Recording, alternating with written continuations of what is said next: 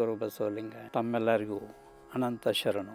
ನರವಿಂದ್ಯದೊಳಗೆನ್ನ ಹುಲುಗಿಳಿಯ ಮಾಡಿ ಸಲಹೂತ ನರವಿಂದ್ಯದೊಳಗೆನ್ನ ಹುಲುಗಿಳಿಯ ಮಾಡಿ ಸಲಹೂತ ಸಲಹೂತ ಶಿವ ಶಿವ शिव शिवायं दो दिसया शिव शिवायं दो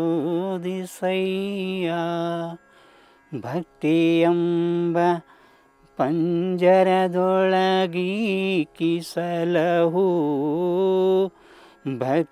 अम्ब पञ्जरदोळगि किसलह। भक्ति ಕೂಡಲ ಸಂಗಮ ದೇವ, ಕೂಡಲ ಸಂಗಮ ದೇವ.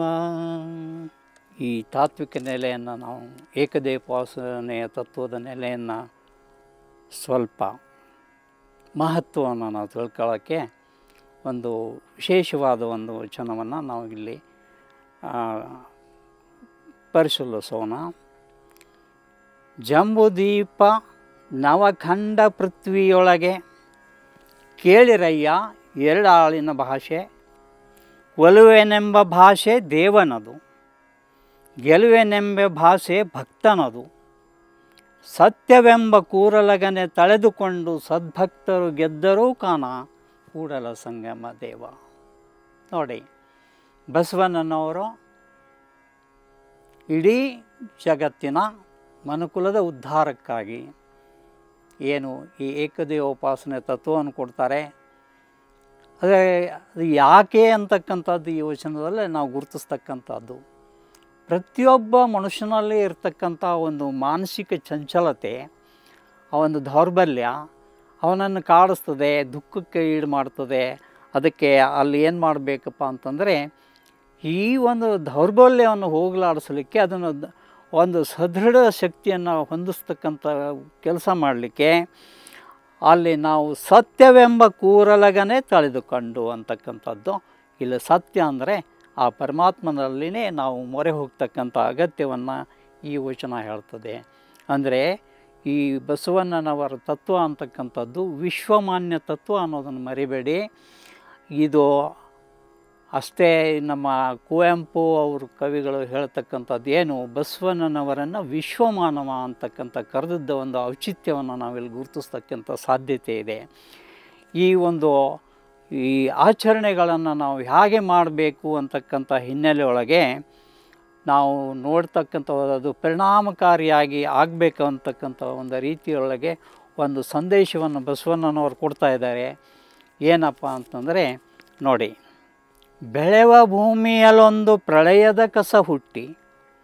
ತಿಳಿಯಲೀಯದು, ಎಚ್ಚರಲೀಯದು. ಎನ್ನವ ಗುಣವೆಂಬ ಕಳೆಯ ಕಿತ್ತು ಸಲಹಯ್ಯ ಕೂಡಲ ಸಂಗಮ ದೇವ. ಸುಳಿದೆಗೆದು ಬೆಳೆವನು ಅಂತಕ್ಕಂಥ ಮಾತನ್ನು ಇಲ್ಲಿ ಬಸವಣ್ಣವ್ರು ಹೇಳ್ತಕ್ಕಂಥದ್ದನ್ನು ನಾವು ಕಾಣ್ತಾ ಇದ್ದೀವಿ. ಇಲ್ಲಿ ವಿಶೇಷವಾಗಿ ಬೆಳೆವ ಭೂಮಿಯಲ್ಲೊಂದು ಪ್ರಳಯದ ಕಸ ಹುಟ್ಟಿ. ಈ ವಚನದ ಒಂದು ವಿಚಾರವನ್ನು ನಾವು ತಿಳ್ಕೊಳ್ಬೇಕಾದ್ದು ಇಲ್ಲಿ ಬಸವಣ್ಣನವರು ಏನು ಹೇಳಲಿಕ್ಕೆ ಹೊರಟಿದ್ದಾರೆ ಅಂತಂದರೆ, ಈಗ ನೋಡಿ, ಮಗು ಹುಟ್ಟಿದ ಹುಟ್ಟಿದ ತಕ್ಷಣ ಸುಮಾರು ನಾಲ್ಕೈದು ವರ್ಷದಲ್ಲಿ ಅದು ಏನು ಮಾಡ್ತದೆ? ತಂದೆ ತಾಯಿಗಳು, ಸಣ್ಣ ಸುತ್ತಮುತ್ತಲೇ ಇರ್ತಕ್ಕಂಥ ಮನೆಯಲ್ಲಿ ಇರ್ತಕ್ಕಂಥವ್ರ ಜೊತೆಗೆ ಅವರಂತನೇ ವರ್ತನೆಗಳನ್ನು ಮಾಡ್ತಿರ್ತದೆ. ಯಾವಾಗ ಅದು ಆರು ವರ್ಷದ ಸುಮಾರು ಹೊತ್ತಿನಲ್ಲಿ ಅದು ತನ್ನದೇ ಒಂದು ಸ್ವತಂತ್ರ ಒಂದು ಬುದ್ಧಿಶಕ್ತಿಯನ್ನು ಬೆಳೆಸ್ತಕ್ಕಂಥದ್ದು, ಅದು ಬಹಿರ್ಮುಖಿಯಾಗಿ ವರ್ತನೆ ಮಾಡ್ತಕ್ಕಂಥ ವಿಚಾರವನ್ನು ನಾವು ಗಮನಿಸಬೇಕು. ಅದು ಅಲ್ಲಿ ತಂದೆ ತಾಯಿಗಳಾಗಲಿ ಅಲ್ಲಿ ಊಟದ ರುಚಿಯನ್ನು ಮರೆತು ಬಿಡ್ತದೆ ಆಟಕ್ಕೆ ಹೋಗಿ ನಿಂತ್ಕೊಂಡ್ಬಿಡ್ತದೆ. ಅಂದರೆ ಬಹಿರ್ಮುಖಿ ಪ್ರವೃತ್ತಿ ಬೆಳೀತಕ್ಕಂಥ ವಿಧಾನ ಏನಿದೆಯಲ್ಲ, ಈ ಮನುಷ್ಯನಲ್ಲಿ ಆ ಒಂದು ಸಂದರ್ಭದಲ್ಲಿಯೇ ನಾವು ಏನು ಮಾಡಬೇಕು ಅಂತಕ್ಕಂಥದ್ದನ್ನು ಬಸವಣ್ಣನವರು ಏನು ಹೇಳ್ತಾರೆ ಅಂದರೆ, ಆ ಒಂದು ಸಂದರ್ಭದಲ್ಲಿಯೇ ಮನುಷ್ಯನಿಗೆ ಸಂಸ್ಕಾರ ನೀಡಬೇಕು ಅಂತಕ್ಕಂಥ ಮಾತನ್ನು ಈ ವಚನ ಹೇಳ್ತದೆ. ಹಾಗೆಯೇ ಮುಂದೆ ಅದು ಎಲ್ಲ ಸರಿಪಡಿಸ್ಕೊಂಥ ಜೀವನದಲ್ಲಿ ಸರಿಪಡಿಸ್ಕೊತ ಹೋಗ್ತಕ್ಕಂಥ ವಿಧಾನ ಏನಿದೆಯಲ್ಲ, ಅದಕ್ಕೆ ನಾವು ನಿರಂತರ ಈ ಒಂದು, ಆ ಸಾಧನೆ ಕ್ರಮದಲ್ಲಿ ಅಂದರೆ ದೇವರನ್ನು ನಂಬಿಕೊಂಡು ಬದುಕೊಂಡು ಹೋಗಬೇಕಾದ ಅಗತ್ಯ ಇದೆ ಅಂತಕ್ಕಂಥದ್ದನ್ನೇ ಅವರು ಹೇಳ್ತಾ ಇದ್ದಾರೆ. ಅದನ್ನು ಈ ಮಾತಿನಲ್ಲಿ ಹೇಳಲಿಕ್ಕೆ ಒಂದು ಸುವ್ಯವಸ್ಥಿತವಾದ ರೀತಿಯಲ್ಲಿ ನಾವು ಯಾವ ರೀತಿ ಆಚರಣೆ ಮಾಡಬೇಕು ಅಂತಕ್ಕಂಥದ್ದು ಬಸವಣ್ಣನವರು ಇಲ್ಲಿ ಹೇಳ್ತಾ ಇದ್ದಾರೆ. ಸುಪ್ರಭಾತ ಸಮಯದಲ್ಲಿ ಅರ್ತಿಯಲ್ಲಿ ಲಿಂಗವ ನೆನೆದಡೆ ತಪ್ಪುವವು ಅಪಮೃತ್ಯು ಕಾಲಕರ್ಮಗಳು ದೇವ ಪೂಜೆಯ ಮಾಟ ದುರಿತ ಬಂಧನ ದೂಟ ಶಂಭು ನಿಮ್ಮಯ ನೋಟ ಹಿಂಗದ ಕನ್ಬೇಟ ಸದಾ ಸನ್ನಿಹಿತನಾಗಿ ಶರಣೆಂಬುದು ನಂಬುದು. ಜಂಗಮಾರ್ಚನೆಯ ಮಾಟ ಕೂಡಲ ಸಂಗನ ಕೂಟ. ಒಂದು ಆಶ್ವಾಸನೆಯನ್ನು ಕೊಡ್ತಾರೆ ಬಸವಣ್ಣನವರು.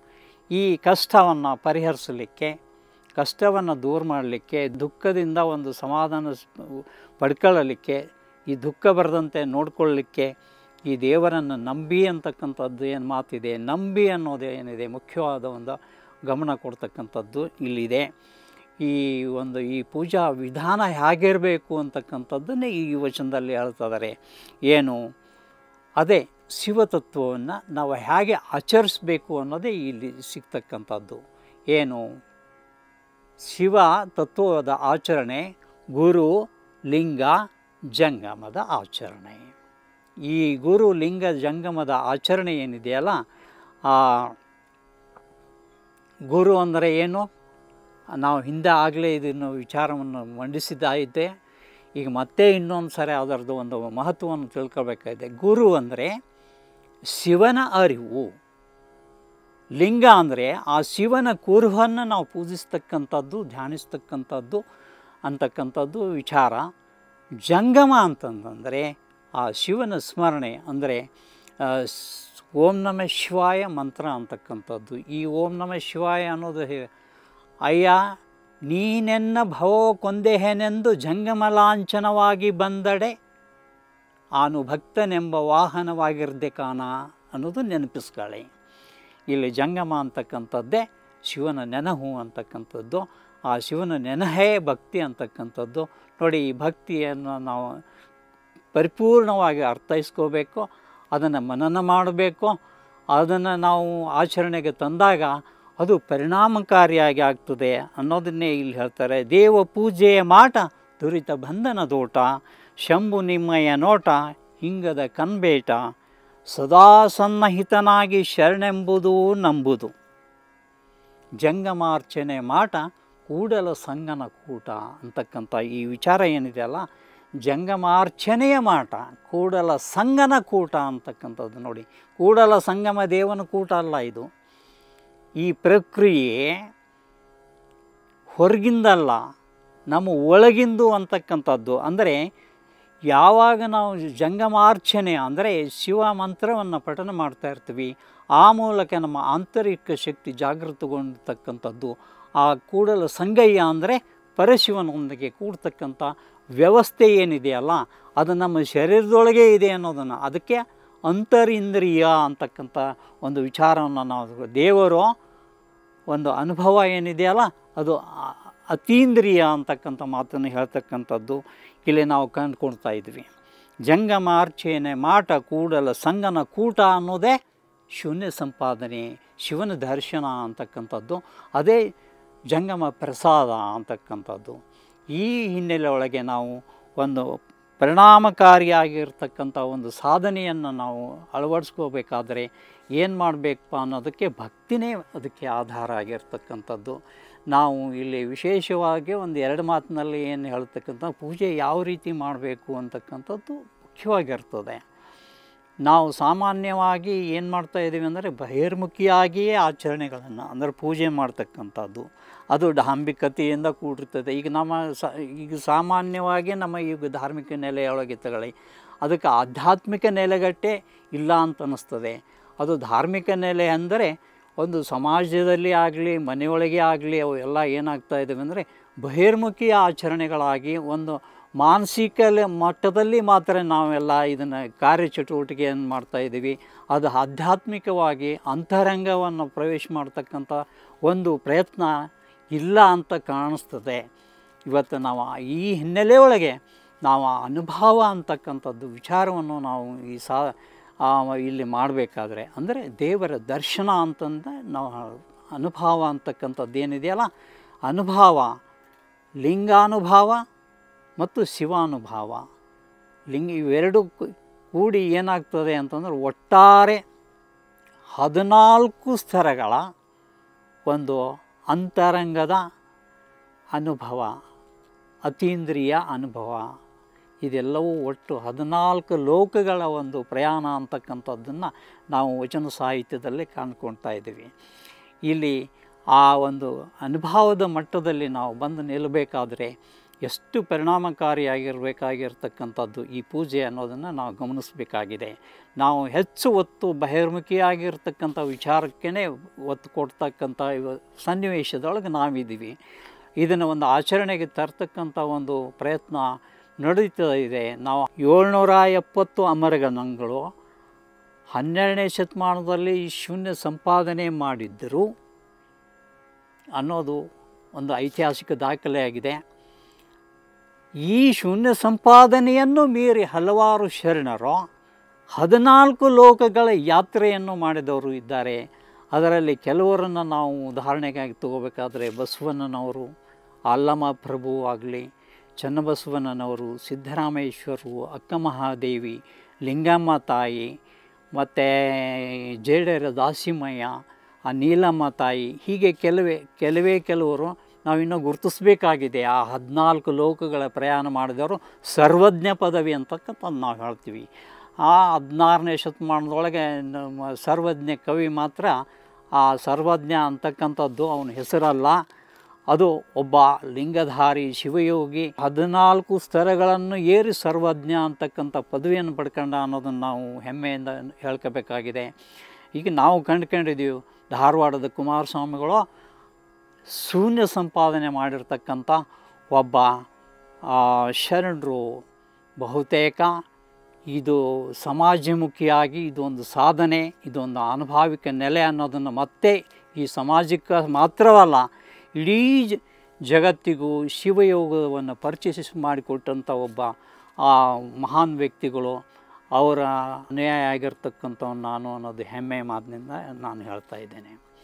ಇಲ್ಲಿ ಈ ಇಲ್ಲಿ ಮುಖ್ಯವಾಗಿರ್ತಕ್ಕಂಥದ್ದು ಸಾಧನೆ ಅನ್ನೋದು ಏನಿದೆಯಲ್ಲ ಭಾಳ ಅಗಾಧವಾದ ಒಂದು ಘನತೆಯನ್ನು ಪಡ್ಕೊಂಡಿದೆ ಮತ್ತು ಅಗತ್ಯವನ್ನು ಇದು ಪಡ್ಕೊಂಡಿದೆ.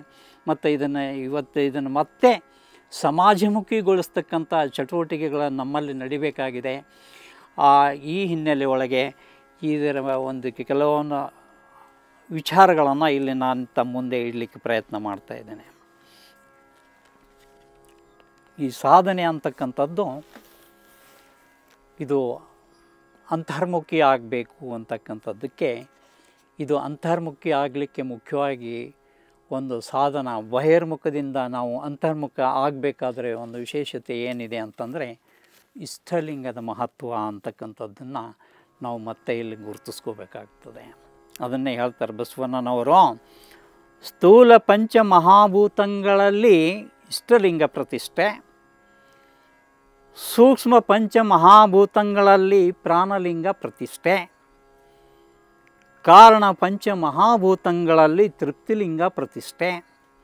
ಇಂತಿ ಸ್ಥೂಲ ಸೂಕ್ಷ್ಮ ಕಾರಣವು ಮಹಾಕಾರಣದ ಮಹದ ಹೃದಯದಲ್ಲಿ ಕೊನೆದೋರಿದ ಮಹಾಜ್ಯೋತಿಯ ನಿಮ್ಮ ಶರಣರ ಅನುಭವದಲ್ಲಿದ್ದು ಕಾಣಬಹುದು ಕೂಡಲ ಸಂಗಮದ ನೋಡಿ ಇಲ್ಲಿ ಎಷ್ಟೊಂದು ತಾಂತ್ರಿಕವಾಗಿ ಹೇಳ್ತಕ್ಕಂಥದ್ದು, ಸ್ಥೂಲದಿಂದ ಸೂಕ್ಷ್ಮಕ್ಕೆ ಹೋಗಬೇಕು. ಸೂಕ್ಷ್ಮದಿಂದ ಮಹಾಕಾರಣಕ್ಕೆ ಹೋಗಿ ಮುಟ್ಟಬೇಕು ಅನ್ನೋದನ್ನು ನಾವು ತಿಳ್ಕೋಬೇಕಾಗಿದೆ.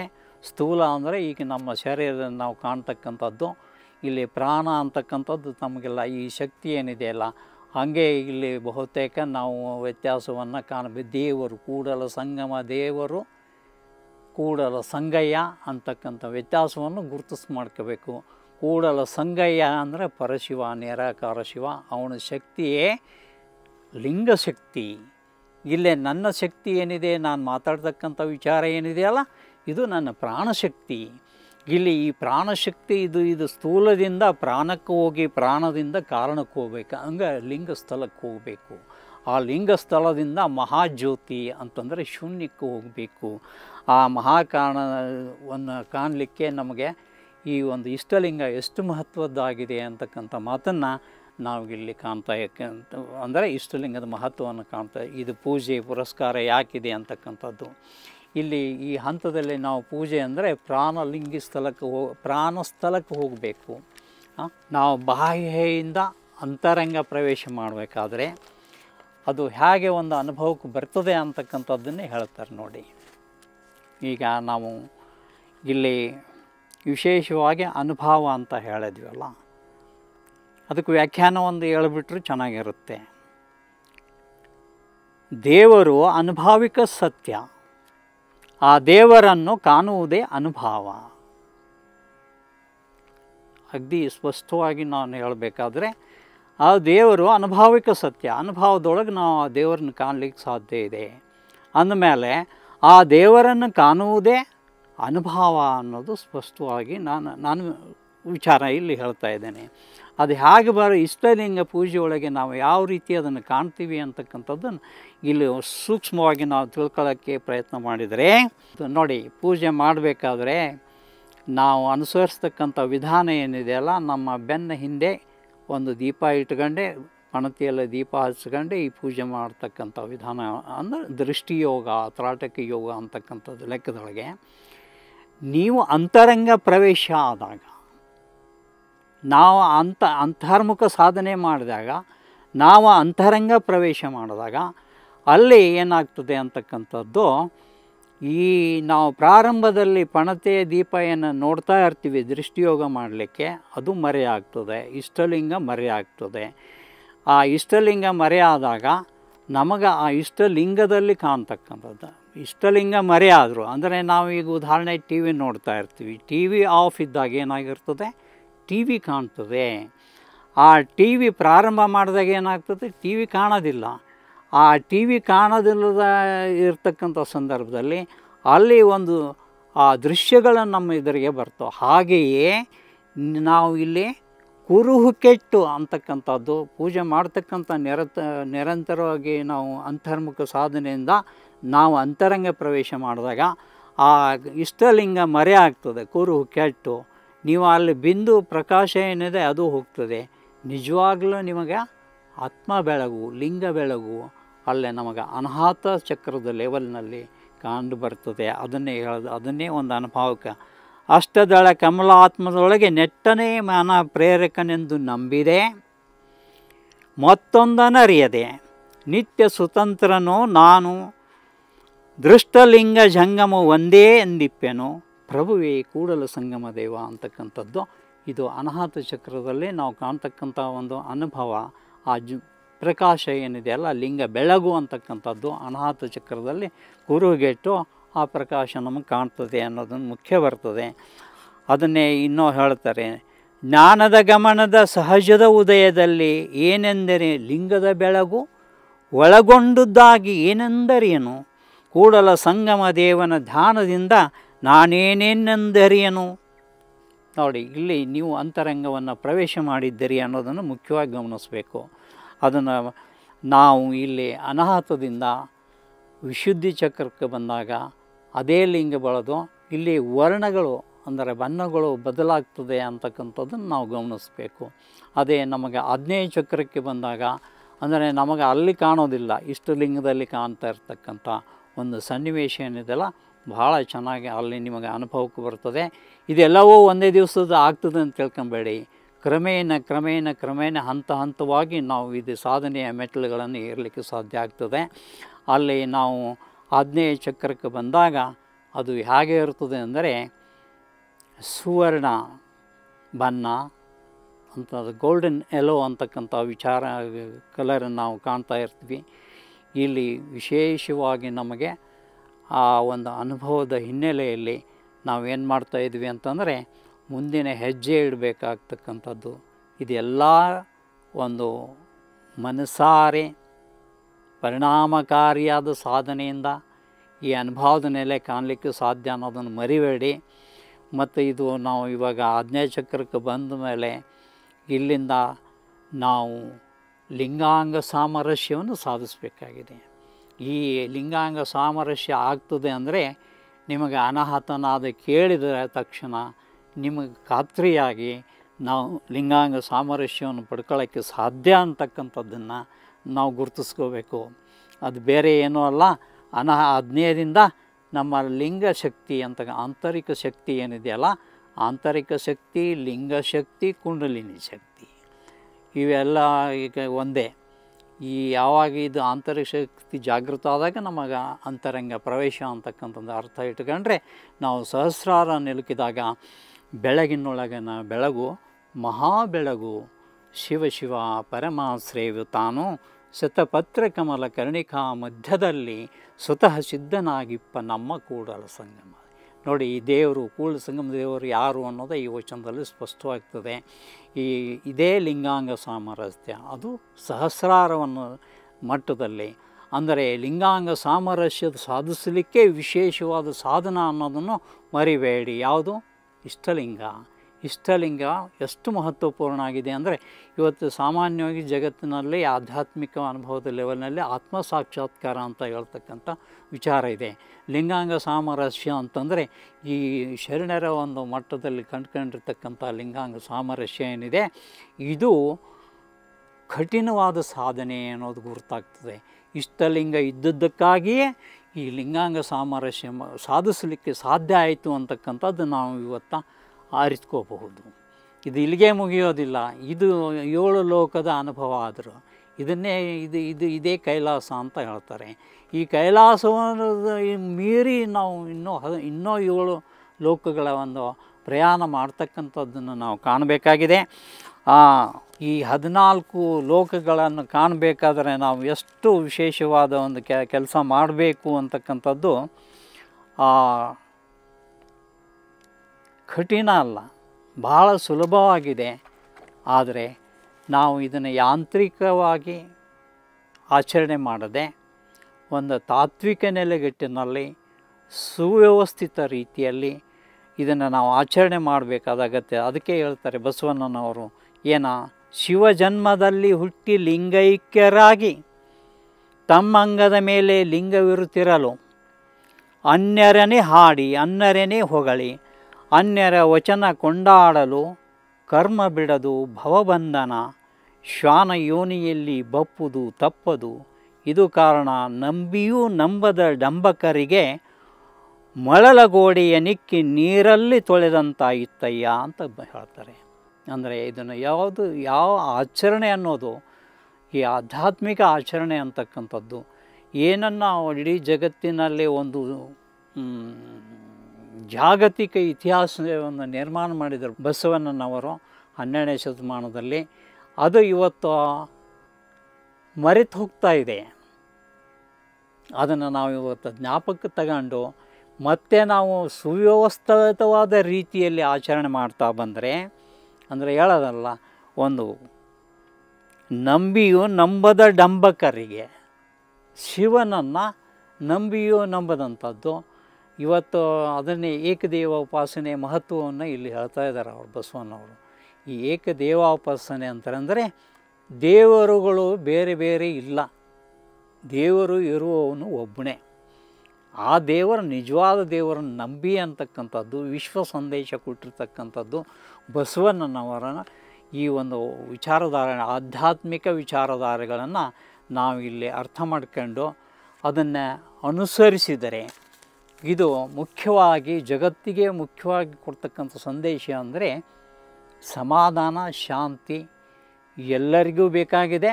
ಅದು ಈ ವಚನ ಸಾಹಿತ್ಯದಲ್ಲಿ ನಮಗೆ ಸಿಗ್ತಾ ಇದೆ ಅನ್ನೋದು ಮುಖ್ಯವಾದ ಸಂಗತಿ. ಆದರೆ ಜನಸಾಮಾನ್ಯರಲ್ಲಿಯೂ ನಾವು ಇದನ್ನು ಆಚರಣೆಯಲ್ಲಿ ತಂದಾಗ ಇದರಿಂದ ಆಗ್ತಕ್ಕಂಥ ಹಲವಾರು ಪ್ರಯೋಜನಗಳು. ಮುಖ್ಯವಾಗಿ ಮನುಷ್ಯನಲ್ಲಿ ಗೊಂದಲ ಇರತಕ್ಕಂಥದ್ದು ಏಕಾಗ್ರತೆಯ ನಾವಿಲ್ಲಿ ಸಾಧಿಸಲಿಕ್ಕೆ ಸಾಧ್ಯ ಆಗ್ತದೆ. ಏಕಾಗ್ರತೆಯನ್ನು ಸಾಧಿಸೋದೇ ಮುಖ್ಯವಾದ ನಮ್ಮ ಕಾರ್ಯಚಟುವಟಿಕೆ ಮುಖ್ಯ ಇರ್ತದೆ. ಮತ್ತು ನಮ್ಮಲ್ಲಿ ಇರ್ತಕ್ಕಂಥ ಏನು ಚಂಚಲತೆ, ದ್ವಂದ್ವ ಇವೆಲ್ಲ ಹೋದಾಗ ನಮ್ಮ ಕ, ಕಾರ್ಯ ಕೆಲಸ ಮಾಡ್ತಕ್ಕಂಥ ಒಂದು ಪ್ರಾಣಶಕ್ತಿ ಏನಿದೆ ಇನ್ನೂ ನಮಗೆ ಹೆಚ್ಚಾಗ್ತದೆ ಅನ್ನೋದನ್ನು ಮುಖ್ಯ ಇದೆ. ಅಷ್ಟೇ ಅಲ್ಲ, ಇದಕ್ಕಿಂತ ಹೆಚ್ಚಾಗಿ ನಾವು ಇದನ್ನು ಮುಂದೆ ಇದನ್ನು ನೋಡಿದಾಗ ಸಾಕಷ್ಟು ನಮ್ಮ ಮಾನಸಿಕ ಏನಿದೆ ತೊಳಲಾಟ ಅಂದರೆ ಅಲ್ಲಿ ನಮಗೆ ಒಂದು ನಕಾರಾತ್ಮಕ ಧೋರಣೆಯಿಂದ ನಾವು ಮನುಷ್ಯನ ಬದುಕೆ ಕೇಡಾಗ್ತಾ ಇರ್ತದೆ. ಇಲ್ಲಿ ಬದಲಾವಣೆ, ಪರಿವರ್ತನೆ ಹೊಂದಬೇಕು ಒಂದು ಸಕಾರಾತ್ಮಕ, ಏನು ಆಶಾಭಾವನೆ ಅಂತಕ್ಕಂಥದ್ದು ಹೊಂದಲಿಕ್ಕೆ ಪ್ರ, ಪ್ರಮುಖವಾಗಿ ನಾವು ಇವತ್ತು ಸಾಕಷ್ಟು ಸಮಸ್ಯೆಯನ್ನು ನೋಡ್ತಾ ಇದ್ದೀವಿ. ಭ್ರಷ್ಟಾಚಾರ ಹಿಡ್ಕೊಂತೀವಿ, ಇವತ್ತು ಅನಾಚಾರಗಳನ್ನು ನೋಡ್ತಾ ಇದ್ದೀವಿ, ರೈತರ ಆತ್ಮಹತ್ಯೆಗಳನ್ನು ನೋಡ್ತಾ ಇದ್ದೀವಿ. ಇವೆಲ್ಲವನ್ನು ನಾವು ಎಷ್ಟು ಇವ, ಇವತ್ತಿನ ವೈಜ್ಞಾನಿಕ ನೆಲೆಗಟ್ಟಿನಲ್ಲಿ ಇಲ್ಲ ಅಂತ ಅನ್ನೋದಿಲ್ಲ. ಬಟ್ ಇದನ್ನು ಕಡಿಮೆ ಮಾಡಲಿಕ್ಕೆ ಸಾಧ್ಯನೇ ಆಗ್ತಾ ಇಲ್ಲಲ್ಲ ಅಂತಕ್ಕಂಥ ಸ್ಥಿತಿ ಒಳಗೆ ಇದು ಪ್ರಮುಖವಾದ ಅಸ್ತ್ರವಾಗಿ ಈ ಸಮಾಜಮುಖಿಯಾಗಿ ನಿಂತ್ಕೊಂಡಾಗ ಬಹಳಷ್ಟು ಅದ್ಭುತ ಕೆಲಸ ಆಗ್ತದೆ. ಅಂದರೆ ಸಮಾಜಕ್ಕೆ ಹಿತ ಆಗ್ತದೆ ಅಂತಕ್ಕಂಥದ್ದು ಅಷ್ಟೇ ಅಲ್ಲ, ನಾವು ಉನ್ನತ ಅನುಭವದ ನೆಲೆಯಲ್ಲಿ ಹೋದಾಗ ಬಹಳಷ್ಟು ನಮಗೆ ಇಲ್ಲಿ ಪ್ರಯೋಜನ ಏನಿದೆ ಅಂತಂತಂದರೆ ಇಂಟ್ಯೂಷನ್ ಸುಜ್ಞಾನ ಅಂತಕ್ಕಂಥದ್ದು. ಇವತ್ತು ವಿಜ್ಞಾನಕ್ಕೆ ಗೊತ್ತಾಗದೇ ಇರತಕ್ಕಂಥ ವಿಚಾರವನ್ನು ನಾವು ಇವತ್ತು ಇಲ್ಲಿ ಕಂಡ್ಕೋಬೋದು. ಅದು ನನ್ನ ವ್ಯಕ್ತಿಗತ ಒಂದು ಸಾಧನೆ ಮೂಲಕ ನಾನು ಇಲ್ಲಿ ಹೇಳೋಕ್ಕೆ ಪ್ರಯತ್ನ ಮಾಡ್ತಾ ಇದ್ದೇನೆ. ಅದು ಏನಪ್ಪ ಅಂತಂದರೆ ಸುಜ್ಞಾನ ಇಂಟ್ಯೂಷನ್ ಅಂತಕ್ಕಂಥ ವಿಚಾರ ಇವತ್ತಿದೆ. ಅದನ್ನು ನಾವು ಸುಜ್ಞಾನ ಅಂತ ಬಳಸ್ಕೊತೀವಿ ಇಂಟ್ಯೂಷನ್ ಅಂತಕ್ಕಂಥದ್ದನ್ನು. ಅಲ್ಲಿ ಏನಾಗ್ತದೆ ಅಂತಂದರೆ ನೀವು ಹದಿನಾಲ್ಕು ಸ್ತರಗಳ ಲೆವೆಲ್ಲಿಗೆ ಮಟ್ಟದಲ್ಲಿ ಈ ಸಾಧನೆಗೆ ನಾವು ಬ, ನಿಲುಕಿದಾಗ ಏನಾಗ್ತದೆ ಅಂತಂದರೆ ಇಲ್ಲಿ ಕುಂಬಿನಿ ತಿರುಗ್ತಕ್ಕಂಥದ್ದೇನಿದೆ ಚಕ್ರ ತಿರುಗುವಿಕೆ, ಅದಕ್ಕೆ ಉನ್ಮನಿಯ ರಭಸ ಅಂತ ಹೇಳ್ತಕ್ಕಂಥ ವಚನದಲ್ಲಿ ಈ ಒಂದು ರಭಸದಿಂದ ಏನಾಗ್ತದೆ ಮೆದುಳಿನ ಸುಪ್ತವಾದ ಎಂಬತ್ತು ಭಾಗ ಅದು ಕ್ರಿಯಾ ಸಾಮರ್ಥ್ಯ ಪಡ್ಕೊಳ್ತದೆ, ಕ್ರಮೇಣವಾಗಿ ನಮಗೆ ಈ ಇಂಟ್ಯೂಷನ್ ಸುಜ್ಞಾನ, ಸಾಮರ್ಥ್ಯ ಒಡಮೂಡ್ತದೆ. ಸ್ಫುರಣ ಜ್ಞಾನ ಅಂತಕ್ಕಂಥದ್ದು ಒಡ ಇದು ವಿಜ್ಞಾನಕ್ಕೂ ಇನ್ನೂ ಸರಿಯಾಗಿ ಗೊತ್ತೇ ಇಲ್ಲದೆ ಇದ್ದರು ಇದು ಈ ಥರ ಒಂದು ನನ್ನ ಸ್ವಂತ ಅನುಭವದ ಮೇಲೆ ತಮ್ಮ ಮುಂದೆ ಪ್ರಸ್ತುತಪಡಿಸ್ತಾ ಇದ್ದೇನೆ. ಎರಡನೇದಾಗಿ ಉನ್ನತ ಮಟ್ಟದಲ್ಲಿ ನಮಗೆ ಒಂದು ಪಡ್ಕೊಳ್ತಕ್ಕಂಥ ಒಂದು ವಿಚಾರ ಏನಪ್ಪ ಅಂತಂದರೆ, ನಾವು ಅಮೃತ ಅಂತಕ್ಕಂಥದ್ದು ನಾವು ಹೇಳ್ತಾ ಇದ್ದೇವೆ ಮೆಲೋಟೋನಿನ್ ಅಂತ ವಿಜ್ಞಾನ ಹೇಳ್ತದೆ. ಇಲ್ಲಿ ಮೆಲೋಟೋನಿನ್ ಉತ್ಪನ್ನ ಆಗ್ತಕ್ಕಂಥದ್ದು ಪೀನಿಯಲ್ ಗ್ಲ್ಯಾಂಡ್ಸ್. ಪೀನಿಯಲ್ ಗ್ರಂಥಿ, ನಿರ್ನಾಳ ಗ್ರಂಥಿ ಅಂತಕ್ಕಂಥದ್ದು. ಅದು ಸಹಜ ಸ್ಥಿತಿಯಲ್ಲಿ ಸುಪ್ತಾವಸ್ಥೆಯಲ್ಲಿರ್ತದೆ. ಯಾವಾಗ ನಾವು ಉನ್ಮನೆಯ ರಭಸದಿಂದ, ಆ ವೈಬ್ರೇಷನ್ ಪ, ತರಂಗಗಳಿಂದ ಆ ಪೀನಿಯಲ್ ಗ್ಲ್ಯಾಂಡು ಕ್ರಿಯಾ ಸಾಮರ್ಥ್ಯವನ್ನು ಹೊಂತದೆ ಮತ್ತು ಇದು ಆ ಮೆಲಾಟೋನ್ ಅಮೃತವನ್ನು ಸುರಿಸ್ತದೆ ಅಂತಕ್ಕಂಥದ್ದು ಇದು ಇವತ್ತು ನಾವು ವಿಜ್ಞಾನದಲ್ಲಿ ಸಿಸ್ಟಮೆಟಿಕ್ ಆಗಿ ಇಲ್ಲಿ ಅನುಭವದ ನೆಲೆಯೊಳಗೆ ಹೇಳ್ತಕ್ಕಂಥ ವಿಚಾರ ನಾನು ಮಾಡ್ತಾ ಇದ್ದೇನೆ. ಇದಕ್ಕಿಂತ ಮಿಗಿಲಾಗಿ ನಾವು ತಿಳ್ಕೊಳ್ತಕ್ಕಂಥದ್ದು ಏನಪ್ಪ ಅಂತಂದರೆ, ಈ ಲಿಂಗ ಶಕ್ತಿ ಸ್ಪಿರಿಚುವಲ್ ಎನರ್ಜಿ ಈ ಹದಿನಾಲ್ಕು ಸ್ತರಗಳಲ್ಲಿ ನಾ ಆ ನೆಲೆಗೆ ಬಂದು ನಿಂತಾಗ, ಆ ಲಿಂಗಶಕ್ತಿ ಅಂತಕ್ಕಂಥದ್ದು ಈ ಮನುಷ್ಯನ ಶರೀರದ ಚಕ್ರಗಳ ಮೂಲಕ ಹೊರಹೊಮ್ಮುತ್ತದೆ ಅದು ಯಾವ ರೀತಿ ಅನುಕೂಲ ಆಗ್ತದೆ ಅಂತಕ್ಕಂಥದ್ದನ್ನು ನಾವು ಇಲ್ಲಿ ಸ್ಪಷ್ಟವಾಗಿ ಗುರುತಿಸ್ಕೊಂಡಾಗ ನಾ ಅದು ಒಂದು ಜೀವವನ್ನು, ಈ ರೋಗವನ್ನು ಗುಣಪಡಿಸತಕ್ಕಂಥ ಸಾಮರ್ಥ್ಯವನ್ನು ಹೊಂದಿರತಕ್ಕಂಥ ವಿಚಾರನೂ ಇಲ್ಲಿ ಬಂದಿರ್ತದೆ. ಇದು ಈ ಒಂದು, ಈ ಬಹುತೇಕ ಈ ಮೂವತ್ತು ವರ್ಷದ ಲಿಂಗ ಅನುಭವದ ನೆಲೆಯೊಳಗೆ ಮೂವತ್ತು ವರ್ಷ ನಾನು ಕಳೆದು, ಆ ಹಿನ್ನೆಲೆಯೊಳಗೆ ನಾನು ಇಲ್ಲಿ ಕೆಲವೊಂದು ವಿಚಾರಧಾರೆಗಳನ್ನು ಪ್ರಸ್ತುತಪಡಿಸಿದ್ದೇನೆ. ಇವುಗಳ ಒಂದು ಮಹತ್ವವನ್ನು ಬಹುತೇಕ ಅನುಭವದ ಘನತೆ ಜಗತ್ತಿನಲ್ಲಿ ಹೇಗಿದೆ ಅಂತಕ್ಕಂಥದ್ದು ಗುರುತಿಸ್ಕೊಡೋದು ಸಾಮರ್ಥ್ಯ ನಮಗಿದೆ. ಬಟ್ ನಾವು ಅದನ್ನು ಗುರುತಿಸ್ಕೊಂಡಿಲ್ಲ. ಅದರ ಮಹತ್ವ ಏನಿದೆ ಅನ್ನೋದು ನಾವು ಹೇಳ್ಕೊಡ್ಬೇಕಾಗಿದೆ. ಈ ಇದನ್ನು ಎಲ್ಲ ಮಾಡಲಿಕ್ಕೆ ಅಗತ್ಯ ಇರತಕ್ಕಂಥ ವ್ಯವಸ್ಥೆಯಲ್ಲಿ ಇವತ್ತು ಎಲ್ಲರೂ ಇಲ್ಲಿ ನಾವು ಭಾಗಿಯಾಗಿ ಇದನ್ನು ಮುಂದುವರಿಸ್ತಕ್ಕಂಥ ಅಗತ್ಯ ಇದೆ ಅಂತಕ್ಕಂಥ ಮಾತನ್ನು ಹೇಳಲಿಕ್ಕೆ ಪ್ರಯತ್ನ ಮಾಡ್ತಾ ಇದ್ದೇನೆ. ಇನ್ನು ಹೆಚ್ಚಿನ ವಿಚಾರಗಳನ್ನು ಇದು ಬರವಣಿಗೆಗಳ ಮೂಲಕ ಆಗಬೇಕು. ಎಲ್ಲರೂ ಮೂ, ಎಲ್ಲರಿಗೂ ಅಂದರೆ ಸಮಾಜದಲ್ಲಿ, ಮಠಮಾನ್ಯಗಳಲ್ಲಿ, ಸಂಸ್ಥೆಗಳಲ್ಲಿ ಇದು ಹೆಚ್ಚು ಒಂದು ಶಿವಯೋಗದ ಬಗ್ಗೆ ಆ ಚಿಂತನೆಯೂ ಆಗಬೇಕು ಅನುಷ್ಠಾನವೂ ಆಗಬೇಕು. ಇದೆಲ್ಲವನ್ನೂ ಮಾಡ್ತಕ್ಕಂಥ ಸಾಮರ್ಥ್ಯ ನಮಗಿದೆ ಅಂತಕ್ಕಂಥದ್ದು, ಬಸವಣ್ಣನ ಕರುಣೆ ನಮಗಿದೆ ಅಂತಕ್ಕಂಥದ್ದು ಹೇಳ್ತಾ ನಾನು ನನ್ನ ಮಾತನ್ನು ಮುಗಿಸ್ಲಿಕ್ಕೆ ಶರಣು ಶರಣಾರ್ಥಿ ಿ.